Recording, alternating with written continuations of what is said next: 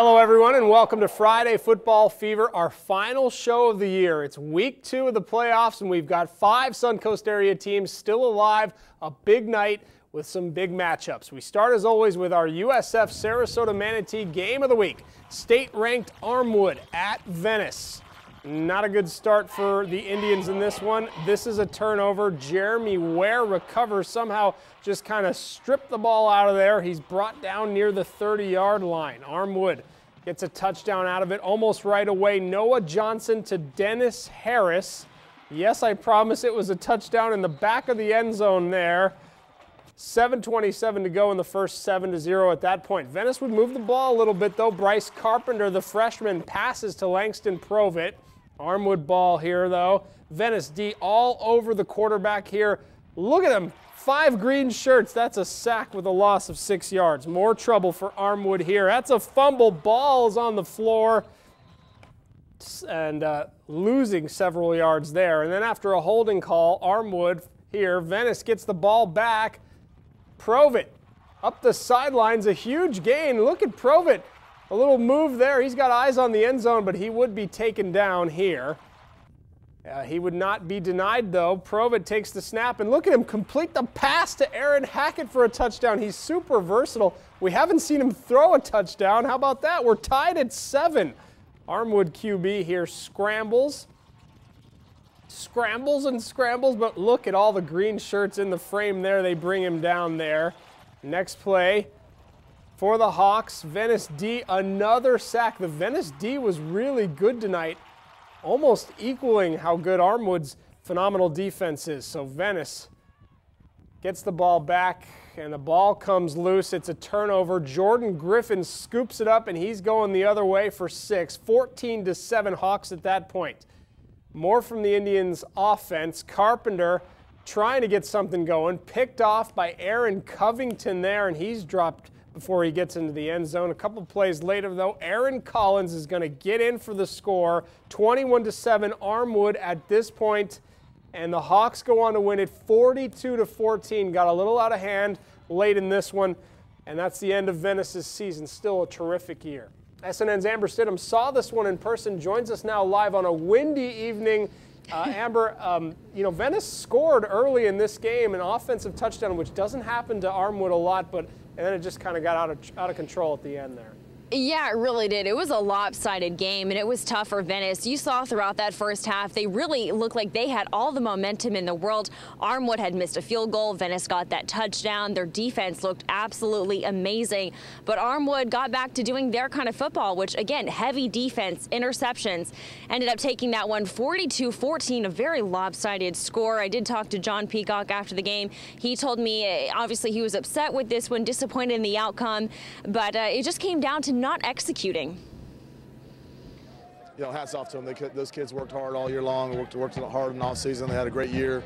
Uh, we just came up a little bit short to a good football team and made some mistakes. And you know, obviously the score looks a little lopsided, but uh, you know, I thought I thought they did a good job. You know, tonight. You know, both sides. Uh, um, going to go a long way, and uh, I'm proud of my kids.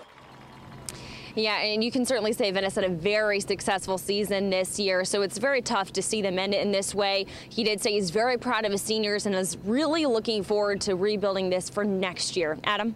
Yeah, uh, definitely a good season, and I do agree with Coach Peacock there. I, I do see Armwood going a really long way, possibly yeah. a state championship run. All right, thank you, Amber. Mm -hmm. How about undefeated Vero Beach making the trip to Manatee tonight? Vero Beach undefeated but I don't think they are on the level of an Armwood or even a Manatee. This one was a wild one. First quarter, no score. Stanley Carrier passes to Chris Larson. What an over-the-shoulder catch there for the touchdown.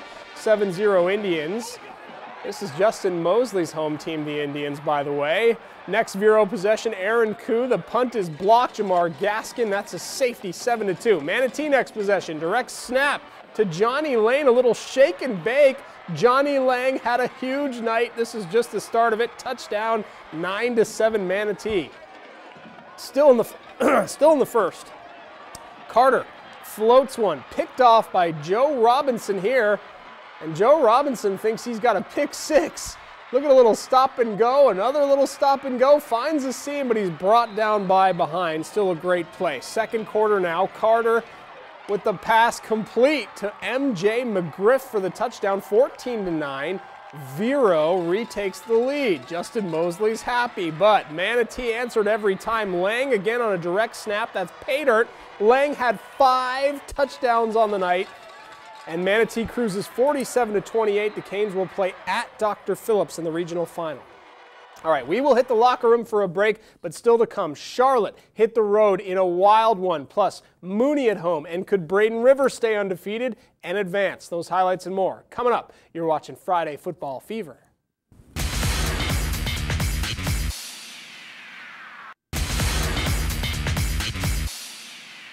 All right, welcome back. Let's just jump right back into the action. Clearwater Central Catholic visited Mooney.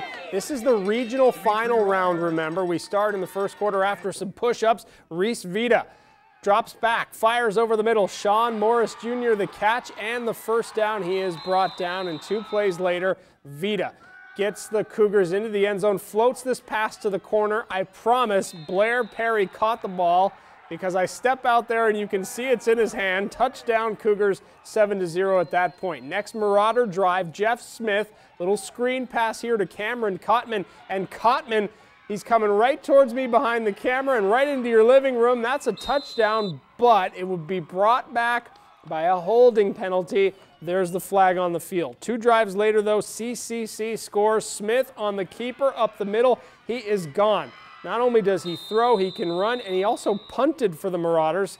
That ties it up at seven. Second quarter now, Marauder ball. Chad Wilkins is in the backfield and he sacks Smith there. The Cougars had a drive in the red zone with under a minute to play, stall on fourth down. Marauders won it 14 to 10. Mooney's great season is now over. Charlotte at Fort Myers. Boy, the Tarpons on a roll. Could they win their second straight road playoff game? First drive, bad snap on the punt. Fort Myers can't pick it up. Charlotte recovers on the Fort Myers 27. Might have something to do with the Green Waves' terrible uniforms. That led to Nathan O'Donnell's 41 yard field goal. Good and then some, 3 0 Charlotte. 10 3 game in the second. Fort Myers' James Brunson running towards the end zone. It's a fumble. Charlotte recovers in the end zone. 10 3 Tarpons led it at the half. Third quarter, fourth and four, Fort Myers Dylan DeGroot finds James Brunson the first of his four touchdowns. We got a ball game, 10 to 9 at this point, and after two offsides penalties by Charlotte, Fort Myers goes for two. DeGroot punches his way in, 11 to 10. Green Wave take the lead. Elijah Mack, though, didn't want to have any part of that. Up the middle, breaking three, finding a hole, 59 yard touchdown, 17 11 Charlotte at that point.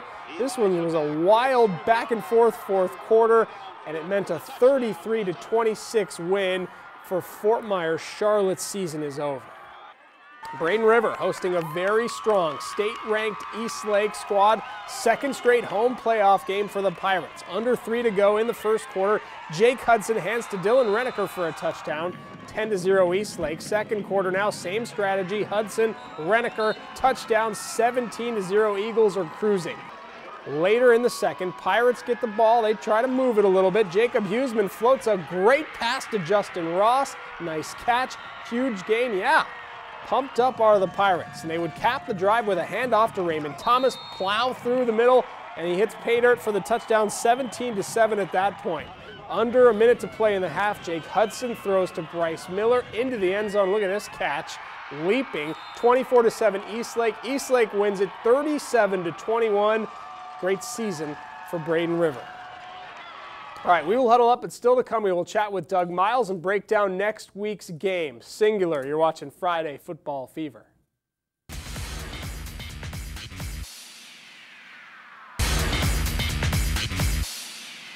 All right, we welcome in Doug Miles from Southwest Florida High School Game of the Week. He calls the Game of the Week on, you can find it on an internet stream, ustream.com or DougMilesMedia.com. Doug, we got to start with the one and only team still alive in the playoffs, Manatee. Yeah, five coming in, one coming out, and a great performance again by the Hurricanes. Really have a good chance now to uh, have another run at the state title, and uh, congratulations to John Booth uh, in his first year. Yeah, he gets uh, two home games and two wins so far in his first year as the Manatee head coach. Five touchdowns on the night for Johnny Lang. They will play at Dr. Phillips uh, next week. Great uh, job again by Johnny Lang, and uh, congratulations to the Canes putting up 47 points against a team that uh, had outscored their opponents 466 to 169. That's so, unbelievable. Great, yeah, great accomplishment so tonight by Manatee. Offensively, Manatee strong. How about Braden River? Their season ends tonight, but not for a lack of a great year against a really good East Lake team. 37-21 Braden River yeah, had a great year though.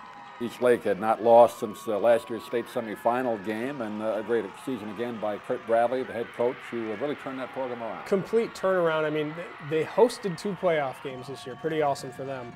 Uh, Venice loses tonight, but um, not without putting some points against an Armwood team that really doesn't give up any touchdowns at all. No, 218 to nothing uh, the last five games for Armwood coming into tonight. So putting up two scores uh, by Venice, uh, that's an accomplishment in itself. It wasn't the way that Venice wanted to end its season season, and there's no moral victories when you lose in the playoffs, but to score twice on an Armwood team that doesn't let anybody score, not, not bad.